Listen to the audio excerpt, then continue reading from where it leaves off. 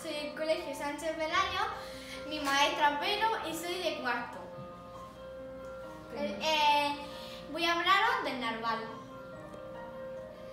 Las características del narval tiene aleta, tiene escama y tiene un pico. Y es vertebrado porque tiene una columna vertebral. Y porque tiene hueso. Y tiene la escama,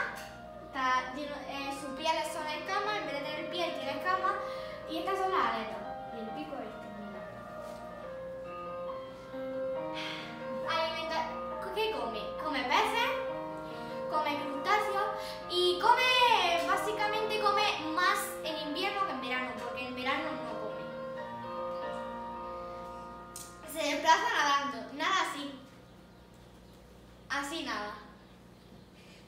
¿Cómo, cómo se reproduce? Son mamíferos y el, bebé nace del vientre. Y cuando nace un narval pequeñito, no tiene el cuerno, no tiene el, colmillo, no tiene el colmillo. Nace sin colmillo, ya cuando va creciendo le va saliendo.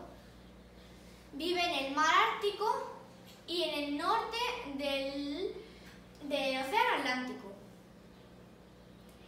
Eh, los machos, se- la curiosidad, una curiosidad es que los machos se diferencian porque tienen el colmillo más largo y más retorcido y pueden medir 2 metros.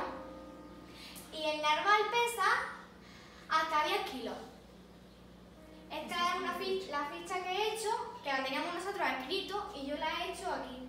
Yo la he hecho escrito.